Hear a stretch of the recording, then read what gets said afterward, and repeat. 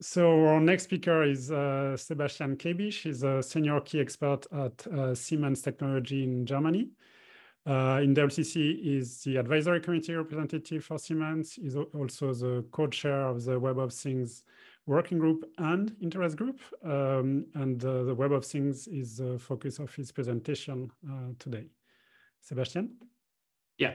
Okay. Uh, thank you very much for the introduction, Dominic. And yeah, and again, thank you very much for the invitation and also warm welcome from me too. Um, yeah, and I'm very happy to able to give an insight into the Web of Things activity at the W3C. Um, and yeah, as you can probably imagine, Web of Things has something to do with Internet of Things or short IoT. Um, well, the difference is that Web of Things focuses on more on application development with web technologies for the IoT. Yeah. But um, yeah, before I go in the details, I would first like to explain what those things are and what the daily challenges are with those things. Go to next slide. Um, well, I'm pretty sure that many people have already IoT equipment at home, yeah, such as humidity sensors, smart lighting, and Alexa, and so on, right? But such things also exist in other domains, such as in factory domains, there are um, robot things or measuring things such as temperature or pressure sensors and many more.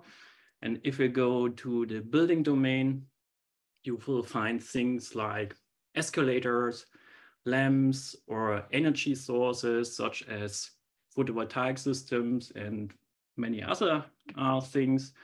And if you go to city uh, domain, then you will see street lighting or charging station for electric vehicles, or you will traffic light thing, things, um, which is then typically used for traffic management systems. Yeah and so on. Yeah, in independent in which um, application domain you are, it can be also healthcare or smart home that I mentioned beginning. Um, you will always find things that are based on sensors or actuator, right?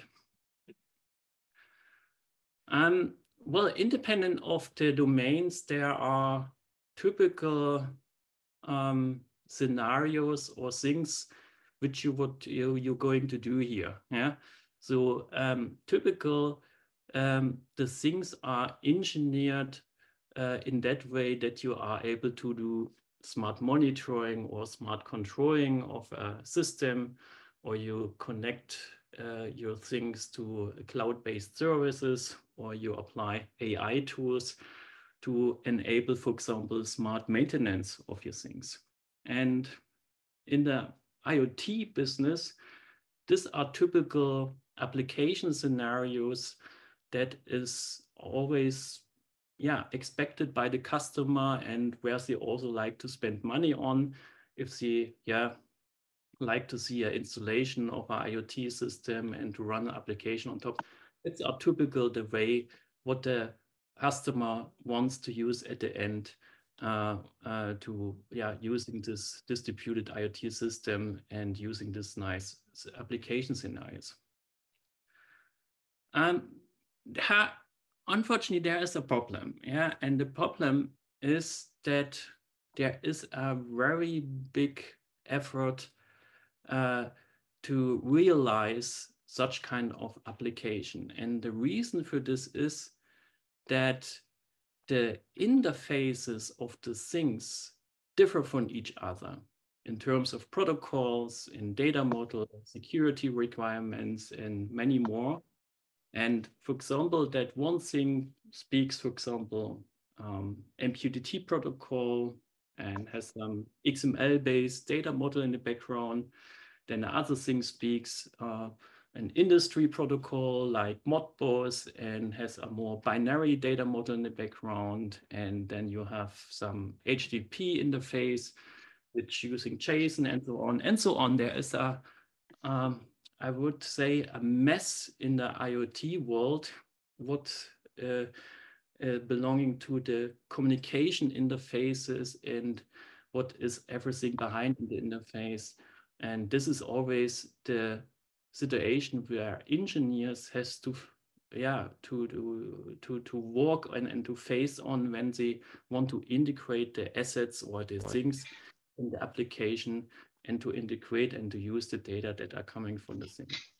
Yeah and this is typically very time intensive and very costly. Yeah.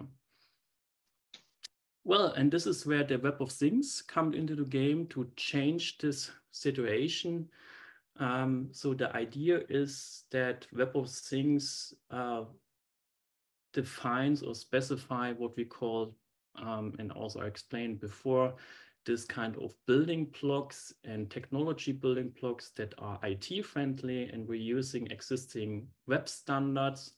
And the reason for this is, uh, well, as we know, the web is very successful in creating application very easily and uh, providing services, orchestrate different um, service to each other, and so on. And you have, have the uh, idea to make some similar approaches or to have this similar paradigm also for the IoT world.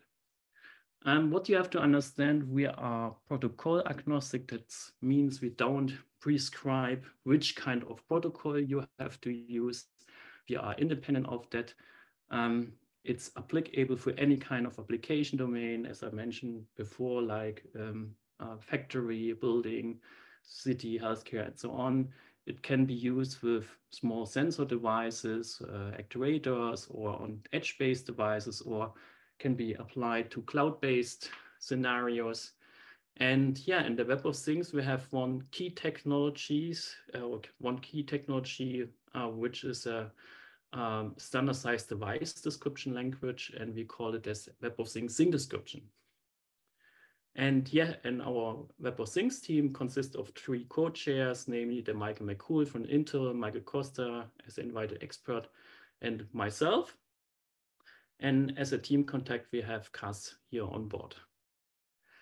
And to get a, a, good understanding what the thing description is doing for the device, I provided here a nice example.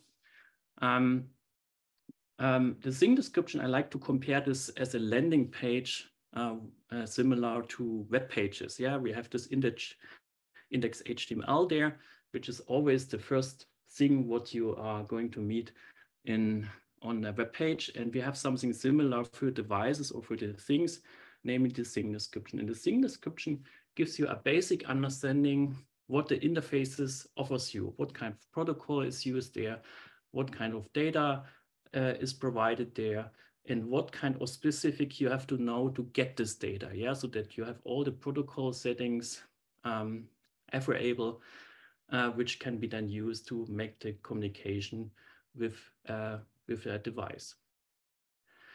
And yeah, coming back to this uh, overview, what I provided before, um, applying the Web of Things technology here, that would be then the expectation that you have for each thing or for each interface, then this kind of landing page or what we call thing description here.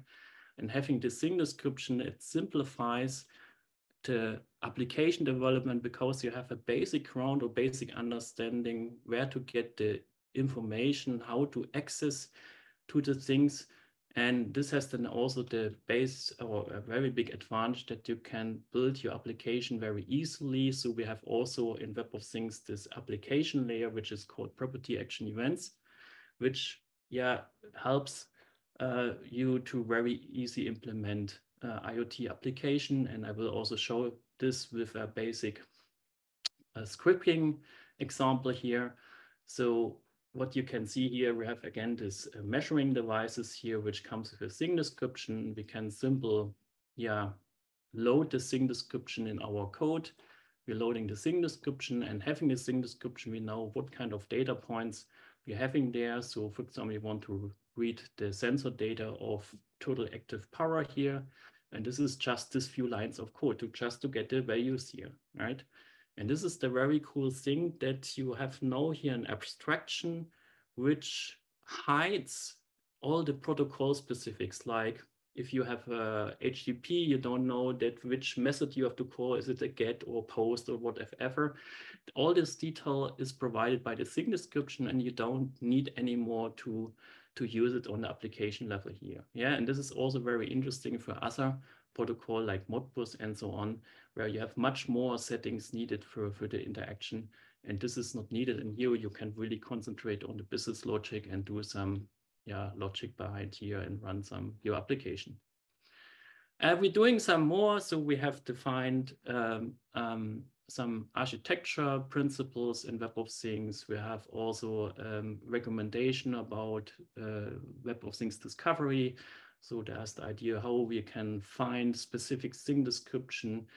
Uh, is it a RDF-based store or in some distributed networks? Uh, we have an API uh, description or specification. We have also some binding templates um, approaches to specify what kind of protocols have to be described in a specific way in a thing description. And of course, and what is very important, we have also some security and privacy guidelines to make yeah, your IoT system also um, um, very safe and uh, consider also the provide privacy uh, in an expected way. Well, um, I was also asked to give an overview who is already using this technology, uh, especially focus in, in, in, Europe. And this is what I uh, know. I, I, there are, are, many more um, companies which are using that, but it's um, uh, that, that's quite quite sure they're using this technology because they did some presentation on this or uh, die telling us that using this technology, so there we have, for example, the SICK AG, they're doing some uh, sensor devices. Then we have Schaeffler, they are active in automotive part. Then the German Telekom, they have the smart home um, equipment, which is relying on uh, Web of Things. Then, of course, Siemens, we have products which is relying on Web of Things. And Canonical, there's a British-based company which doing, for example, this Linux-based uh, uh, Linux-based systems, and yeah, and many more. Then we have also startups here, which using Web of Things like Netso. Then we have Vime, um, uh, which uh, uh, also using Web of Things for their solution. And Krellian, this is a, for a building or smart home scenarios a solution, and so on. And what is also good to know is that existing SDOs and foundations using uh, also or adapting the Web of Things technology. For example, Eclipse has some projects which supporting Web of Things um, in projects like the ThingWeb node-wot implementation or the Eclipse Ditto uh, using Web of Things. And there's also this asset administration shell activity gone ongoing, which also has now a specific submodel, how it's called there, which also using Web of Things there. And then there's also the OPC Foundation, which are relying on uh, a new standard uh, and uh, which is also using the Web of Things thing description in there. Yeah, so there's many going on and it's very nice to see that's a uh, big adoption.